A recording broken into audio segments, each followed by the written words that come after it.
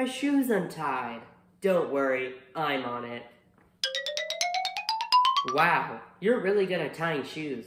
Yeah, it's like your hands have a mind of their own. Huh, I guess so. Shoot, my shoe's untied. Allow me. Are you talking? I am. They were right about me having a mind of my own. Wow, that's so cool. Hands are cool. I wouldn't know. Hey, Kevin, I heard you were really good at tying shoes. Yeah, I guess so. Would you tie my shoes? And mine? And mine. And my shoes? And mine? And mine? My shoes. Me, me, me. And mine. Me. My shoes, my shoes. Fine.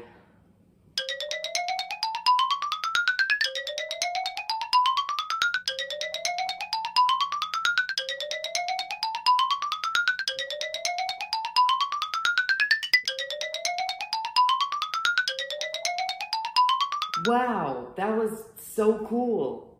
Easy peasy. I'll be right back. Dude, people can't know my hand can talk and tie shoes. Why not? Because that'd make it less cool for me to tie shoes that fast. Well, that's just unfair for me. Well, then I guess I'll never tie shoes again. Hey, Kevin, can you tie my shoes again? Sorry, I don't tie shoes anymore. And how are your shoes already untied again? Kevin, can you tie my shoes again? Kevin, will you tie my shoes again? Mine again, mine again. No, no. Tie mine again, tie mine again. Mine, mine, mine. Again, again, again, again, No, again, no, again, no. again, Tie again, again, again. again, Please, again, please, again, please. again, again, Uh, again, me, me, again, me. again, again. Kevin Shulington, please come down to the principal's office. Kevin, do you have any idea why I called you here today? Uh, I cheated on my test? Close. I want you to tie my shoes.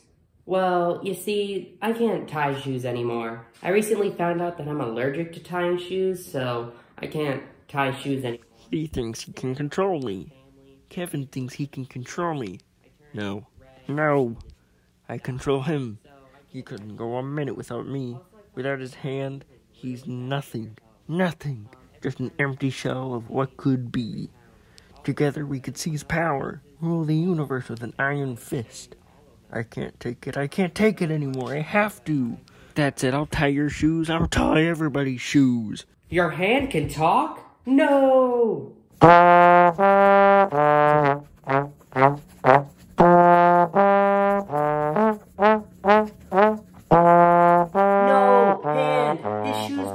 Don't laces.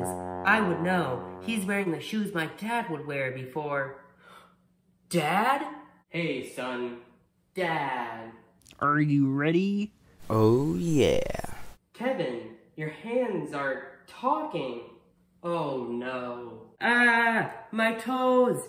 They tied my toes together!